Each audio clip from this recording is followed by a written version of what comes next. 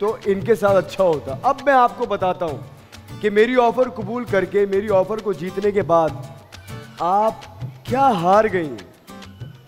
जो कि आप जीत सकती थी। क्या? नहीं नहीं नहीं नहीं नहीं नहीं। ना अंडा है और ना टेनिस बॉल है। लेकिन मैंने ये नहीं कहा, मैंने ये नहीं कहा कि यूपीएस नहीं है। मैंने ये नहीं कहा कि ये चौदह हज़ार रुपए वाला सेलफोन नहीं है। मैंने ये भी नहीं कहा कि ये जनरेटर नहीं है। मैंने इनको ऑफ़र की थी पाँच लाख रुपए कैश की।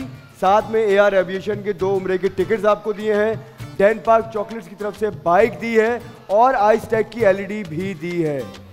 लेकिन अगर आप थोड़ी देर और मेरे साथ खेलती और अपनी बहन की बातों में ना आती।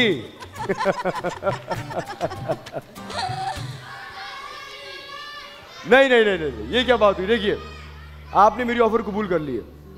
ये सारी चीज़ें अब आपके साथ जाएँगी। ये मेरे साथ ही रहेगा जो भी कुछ है। कोई बात नहीं। नसीब की बात है। ये बहन ने भाई को दे दी। आपकी बहन ने क्या? ये बहन ने भाई को दे दी। अच्छा आपने ये मुझे दे दिया?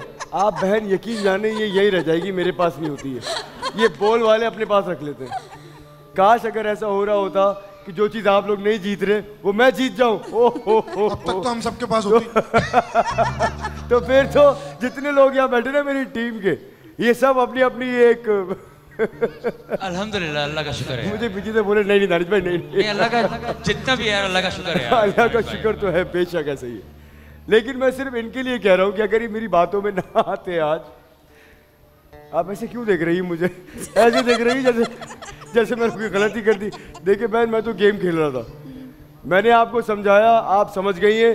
पाँच लाख रुपए, ये सारी चीज़ें आपको मुबारक। लेकिन अगर आप मेरी बातों में नहीं आती तो आज यहाँ से तेरह सौ सीसी कार लेके जाती बोल एंटरटेनमेंट के शोज़ देखने के लिए हमारे चैनल को सब्सक्राइब करें और बेल आइकन पर क्लिक करना ना भूलें।